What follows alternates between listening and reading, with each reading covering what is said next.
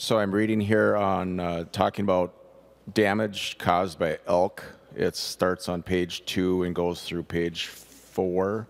Um, so on page four, it talks about compensation, and what my amendment would do would just leave it as the language as, as is and not change it.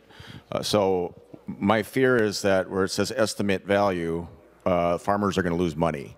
So we don't have the money to pay for the damage that the elk is causing, so we're just going to estimate what they should be getting and give that to them. I think we should leave it alone.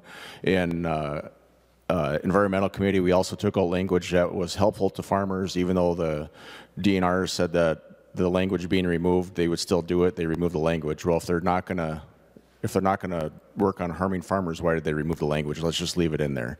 So this would let the farmers still get compensated for what their grain's worth, not an estimated value, and that's what we should be doing. We should be working with them and not trying to. I, I know we're not trying to harm them, but I don't see. I see this as harming harming farmers, and they've got it hard enough already. They work 365 seven days a week.